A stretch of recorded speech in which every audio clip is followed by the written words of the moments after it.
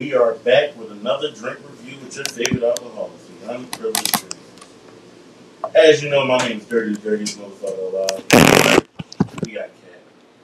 To my left, we got Pootie, aka Dink, or Dink, aka Pootie. And on the ones and twos, we got our guy. Um, what's up? today, we have a special drink. It's special to us because, like, we grew up with this.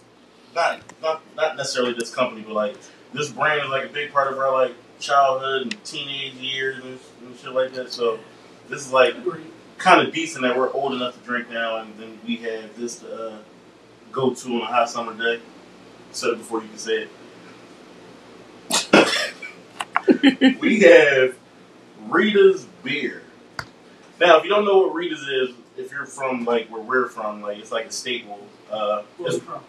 Philly. But I assume people know that by now. We got a lot of episodes in, but this is your first time listening to us. We're from Philly.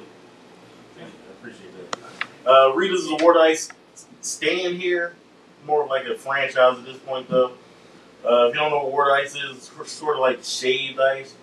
But the Neshaminy Creek Brewing Company came out with three flavors, right? Yes. Yeah. That's all we saw. was three flavors. Three flavors. Right here, we have peach. Peach Ring. Peach ring. I'm sorry, you're right. I'll be honest with I'm excited. Yeah. I'm excited. Like, I'm related.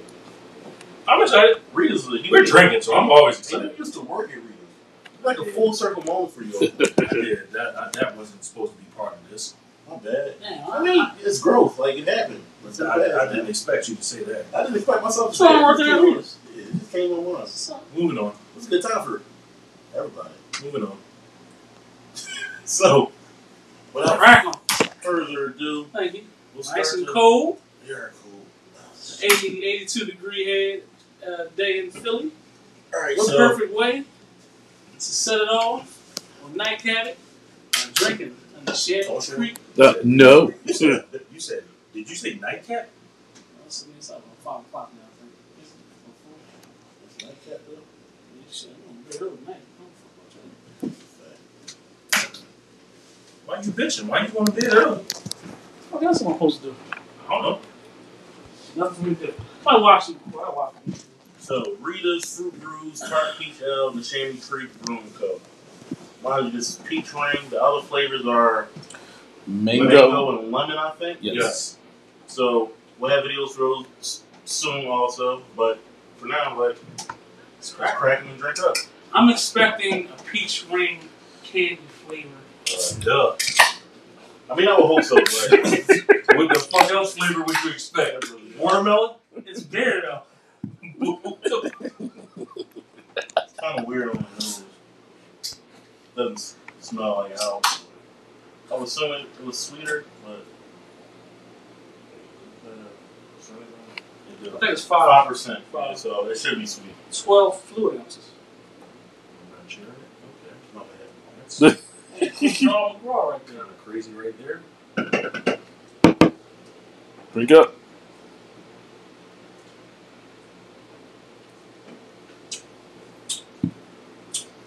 Okay. Quite tart. It's sour as hell. A peach ring, though. No, but peach ring, like at some point, gets sweet. It does. They do. like, it's like a sour patch. But still, But you gotta remember, we're still drinking beer. Yeah. I like it, honestly. I do. No, I it's do. not, it's not bad. It's just unexpected, Yeah, this is good. it's a good sour. Yeah, it is. Yeah, that's what I'm saying. It reminds me. I like it. Tastes peachy, It, re- it reminds me of sort of the Bud Light seltzer sours. I can see that. Okay, yeah. It reminds me of one of them. It's just not as sweet. Right.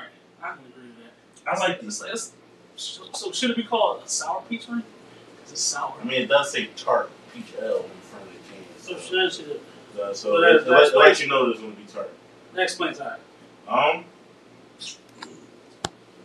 I give it a seven and a half. Hmm. I'm in, I'm anticipating that the other ones are actually better. Well, at least the mango. I'm anticipating the mango will be better. But I guess a seven and a half. Not exactly what I expected, but it's a good joint. If like you like Sour Patch Kids and Warheads and stuff like that, Yeah. it's a good drink for you. Yeah. I, I'm expecting the lemon one to be the best. Yeah. Um, I didn't read that it says uh, tart peach L, so that explains it. But before I knew that, I was expecting it to be a little sweeter. But I'll give it seven and a half. too. Well, I'm giving it an eight and a half. I like this a whole lot.